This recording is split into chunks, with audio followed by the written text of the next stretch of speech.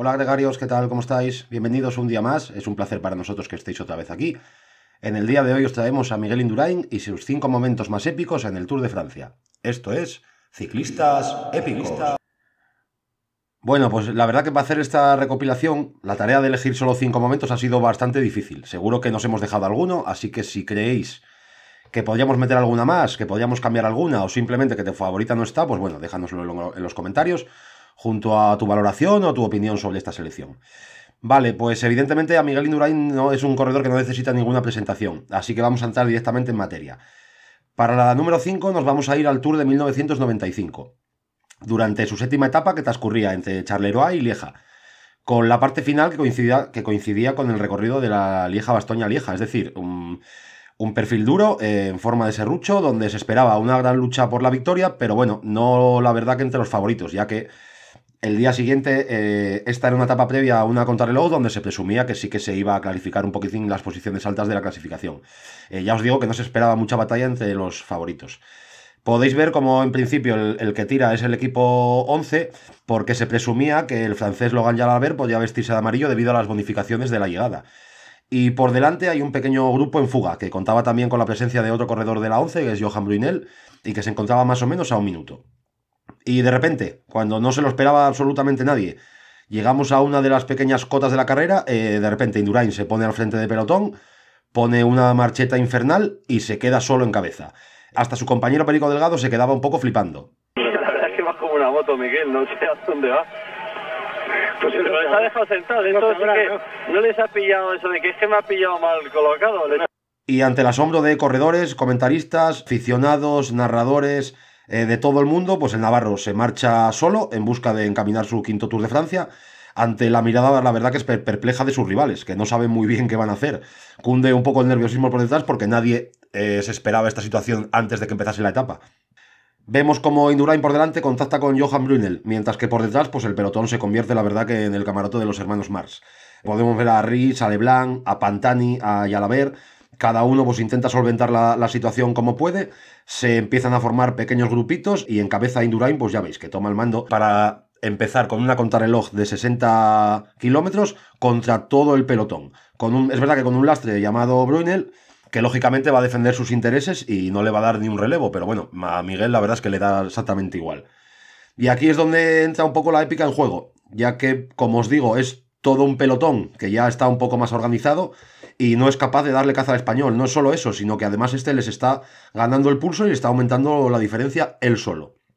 Un solo corredor está poniendo en jaque la carrera, compitiendo él solo contra todos los demás. Algo, la verdad, que increíble. El español es una fuerza de la naturaleza, ya lo veis. Le da igual quien tire por detrás, le da igual llevar a Brunel, él va por su, a por su repoker de tours y no le importa nada más. Y ya veis que solo, sin ningún tipo de relevo, se planta en la meta de Lieja con un minuto de ventaja sobre el pelotón, y aunque bueno, no pudo ganar la etapa que se adjudicó el holandés. Pero Indurain va a la derrota, va a intentar hacer todo lo posible, lo que pasa que claro, de fuerzas pues anda muchísimo más justito ya que ya San Brunel, primero Brunel, segundo Indurain. Dio un golpe de autoridad grandísimo que refrendaría al día siguiente en la contrarreloj, demostrando a los demás quién es el más fuerte de ese Tour 1995. Para la número 4 nos vamos a ir al año 1992, eh, durante la primera etapa contrarreloj de esa disputa del Tour de Francia, que se disputaba en Luxemburgo. Eh, una etapa, la verdad, que ha quedado para los anales de la historia, que es considerada por muchos, pues posiblemente la mejor contrarreloj realizada por un ciclista en el Tour de Francia. Mm, sus rivales, eh, Buño o de las Cuevas o Breukin y compañía, declararían después que es imposible ganar un extraterrestre. Todas las portadas del día siguiente de todos los periódicos del mundo ponían lo mismo, un auténtico extraterrestre. Fue una exhibición como no se había visto posiblemente antes. Quedaban 10 corredores por salir cuando salió el español y el último en ese momento era Pascal Lino que, llevaba el jersey de líder. Indurain realizó una media de más de 49 km por hora, algo la verdad que insólito, de locos. Y ya desde el principio, pues bueno, veis que empezó ya a doblar gente, parecía que en vez de una bici pues un Fórmula 1. La primera referencia de carrera, que ya es antes de la mitad, pues bueno, ya le saca más de un minuto a Zule o a De las Cuevas, que son grandes especialistas. Y a mitad de carrera, pues ya parecía que en vez de eso, en vez de una Pinarello, pues llevaba un McLaren. En esa etapa, pues Miguel dejaría prácticamente sentenciado ese Tour de Francia y, como os digo, pues pasaría a los anales de la historia y consagraría a Indurain en aquella época pues, como el mejor corredor del mundo. Justo antes de llegar, eh, veis cómo adelanta Laurent Fiñón, que salía nada más y nada menos que seis minutos antes. Y el francés pues declararía que no le pasó un corredor, sino que le pasó un avión. Miguel en esa etapa no vestiría todavía el amarillo, que vestiría posteriormente en Sesters, pero vale, prácticamente dejó sentenciado el Tour de Francia en esa jornada que ya os digo, quedó para los análisis de la historia. Vean que va a superar de prácticamente tres minutos a su compañero Armand de las Cuevas y hoy Miguel Indurain va a dar un paso muy importante para conseguir la victoria. Para la número 3 nos vamos a ir a la etapa 11 del Tour 94, donde se llegaba por primera vez en la ronda gala a Utacam, que es un puertaco durísimo que bueno, estaba inédito hasta ese año 1994.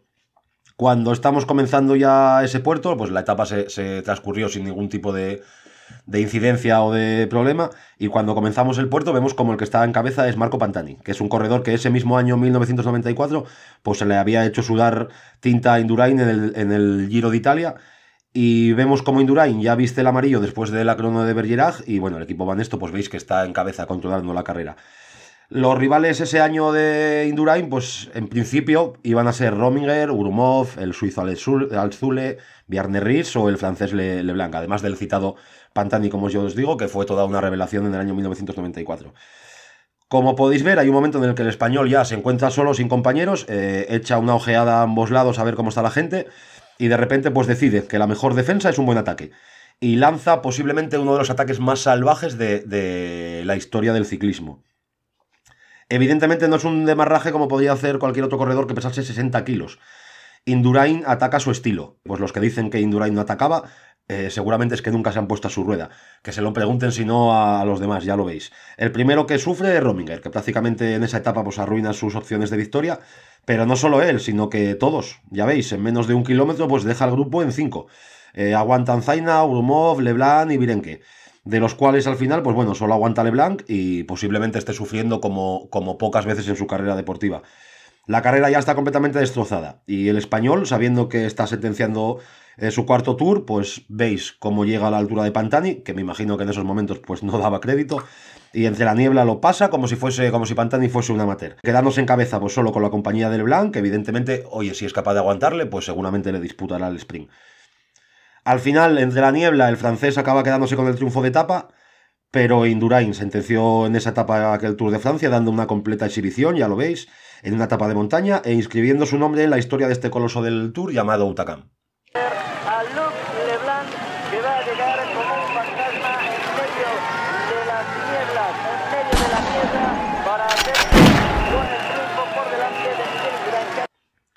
Y antes de continuar, pues nada, amigos, quería daros las gracias a todos los que estáis dándole apoyo al canal, que cada vez sois más. Y pediros a los demás que, bueno, si os está gustando el vídeo, suscribáis, le deis a la campana para no perderos nuestras historias y compartáis los vídeos si creéis que merece la pena. Podéis seguirnos también en Facebook y abajo en la descripción os dejo unos links donde podéis, eh, podéis realizar una humilde donación si os gusta el contenido del canal y también podréis encontrar las mejores ofertas en ropa de ciclismo, además de los maillots retro de vuestros ciclistas favoritos. Llegamos a la número 2, en la que volvemos al Tour de Francia de 1995. Estamos en la etapa 9, con un Indurain, como veis, que ya va de líder, después de la etapa de Lieja que hemos visto antes y de la posterior crono. Y la carrera llegaba a su primera etapa de montaña con final en la planche. Después de la crono, el suizo Alex le cuenta ya con más de 4 minutos de desventaja, con lo cual estaba, estaba colocado ya bastante lejos de Indurain. Y lanzó un ataque de lejos, eh, la verdad es que un poco a la desesperada. El equipo Banesto, la verdad que dejó un poco hacer y el suizo llegó a ponerse con 4 minutos de diferencia con más de 4 minutos de diferencia, colocándose en un momento dado como líder virtual de la carrera. Entonces, eh, Indurain, que en el año 95 la verdad es que ya había resuelto multitud de situaciones comprometidas durante sus cuatro tours anteriores, decide el dónde, el cuándo y el cómo. Y como acabamos de ver muy parecido a lo que hizo en Utacán, pues bueno, de repente coge la cabeza de carrera, pone velocidad de crucero y empieza a dejar cadáveres por el camino. Perico Delgado alucina otra vez. Está preparando una Miguel, una javechina aquí atrás. que está preparando por la cola del grupo. Bueno. El primero en sucumbir es Rominger. Y le van siguiendo Pascal Dufo, Chiapucci, Lale Cubino. En principio los que parece que aguantan un poco son Iván Gotti, Pantani también parece que puede aguantar un poco el ritmo infernal de Miguel, pero la verdad es que el ritmo es brutal. Eh, un pedaleo, como veis, imponente, prácticamente sin levantarse del sillín, está rompiendo a todos y cada uno de sus rivales y todavía nos quedan 11 kilómetros por completar. Ya veis que se queda solo e inicia lo que es la persecución en busca del corredor suizo, que evidentemente está empezando a acusar el esfuerzo, son cuatro minutos de diferencia y bueno, el duelo entre los dos está servido. Es verdad que entre los dos está haciendo de puente Pavel Tonkov, pero nada, ya veis que Indurain tarda poco en cazarlo y Pues, sucumbe también al tren de alta velocidad que está subiendo a la estación de la plancha. El corredor suizo realiza la verdad una espléndida etapa y se vuelve a meter de lleno en la lucha por el podio. Pero bueno, la verdad es que inquietar un poco a Miguel de Indurain son palabras mayores. Con mucho sufrimiento acaba llegando a la meta con dos minutos de ventaja sobre Miguel, que prácticamente deja sentenciado también su quinto tour, demostrando que es un corredor para la leyenda.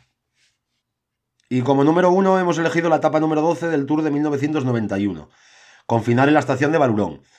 Y hemos elegido esta básicamente porque, bueno, creemos que es el comienzo de la leyenda de Miguel Indurain el Navarro ya era un corredor impresionante antes de esta etapa, pero bueno, ese día la verdad es que comenzó su, maravilloso idilio con el Tour. Una etapa colosal, donde se subían puertos de la talla del Ubiskel, Tourmalet, El Aspen y Valurón. Una, una, etapa, la verdad, que durísima. La verdadera guerra le llegó en el Tourmalet, donde llegaron a la cima ya un grupito con los favoritos. Eh, digamos que era un, ciclismo distinto. Era el final, ese Tour 91, pues quizás fuese el final de una generación donde se encontraban pues Perico, Greg Lemon, Fiñón, etc. Ya os digo, se llegó, se llegó a la cima del Tourmalet ya un grupo con los favoritos, eh, en el que estaban pues Buño, Motet, Leblanc, Indurain, Chiapucci y Lemon. Tras una batalla en el puerto, la verdad es que hubo una batalla colosal. Pero bueno, al final llegaron a, llegaron a, a la cima todos juntos. Y es cuando Miguel, que es un excepcional bajador, eh, lo prueba en el descenso. En el descenso del Tourmalet, pues se lanza y, la verdad que realizando, aunque no tengamos imágenes, realizando las curvas de una manera impresionante, pues vuela y llega a sacar 50 segundos al grupo. Eh, cuando llegamos abajo, por detrás, vemos que Chiapucci ataca en el, en avituallamiento, colocándose de puente entre, entre el grupo de favoritos y, Indurain que marcha por delante.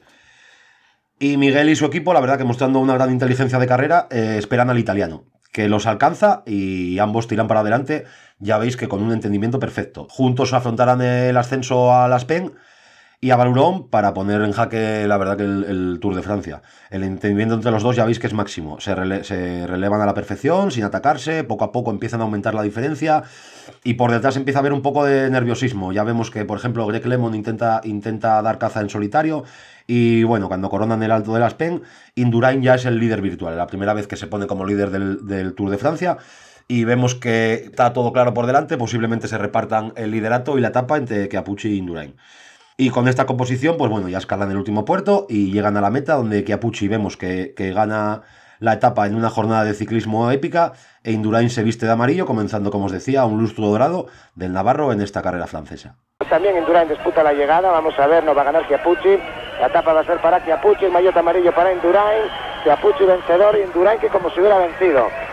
Vale, pues muchísimas gracias amigos. Y si os ha gustado el vídeo, pues nada, darle un like, suscribir, compartir y acordaros que os dejo abajo en la descripción los enlaces con los mejores descuentos de ropa y vuestros mayores favoritos. Muchísimas gracias. Esto ha sido Ciclistas Épicos. Épicos.